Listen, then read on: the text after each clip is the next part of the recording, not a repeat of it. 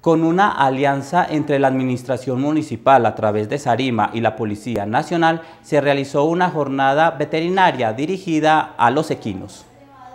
La jornada de bienestar animal estaba dirigida a los caballos que diariamente brindan el sustento a los más de 40 cocheros que tiene el municipio. Estamos haciendo un trabajo con los caballos cocheros de desparasitación y vitaminización. Eso es un compromiso que se adquirió con ellos eh, hace muchos días, que los que asistieran a ciertas capacitaciones se les iba a hacer este programa con los equinos. También se tiene programado eh, una jornada de raje, ¿sí?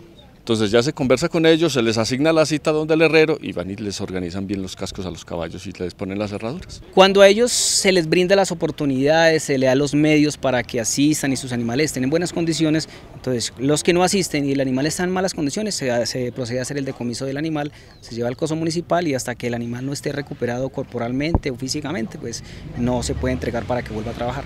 Eso es lo que vamos a realizar. Es como, como eh, incentivar o obligar a la persona que, que, asista porque es gratis. Esto aquí no se le está cobrando nada, es simplemente que traiga el animal y se le presta su asistencia veterinaria. Estos medicamentos que les fueron suministrados a los equinos son de gran ayuda, dada la carga de trabajo a las que a veces se ven sometidos. Es bastante importante, más que todo la desparasitación, ya que los parásitos son los que les están consumiendo sangre, les quitan fuerza y les quitan vitalidad a los caballos. Y la vitamina lo que hace es regenerar todo el sistema sanguíneo.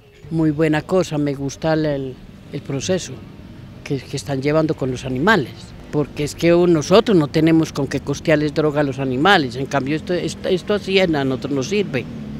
Nosotros nos sirve porque es una, ayuda que nos están haciendo.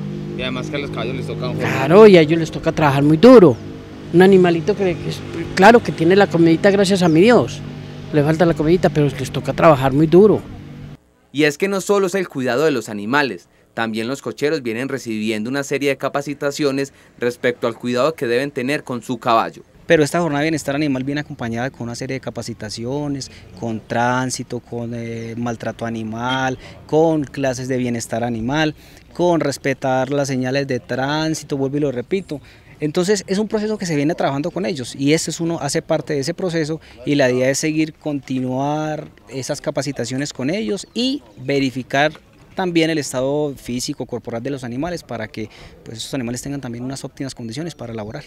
El objetivo es que este tipo de jornadas de bienestar animal se hagan cada seis meses.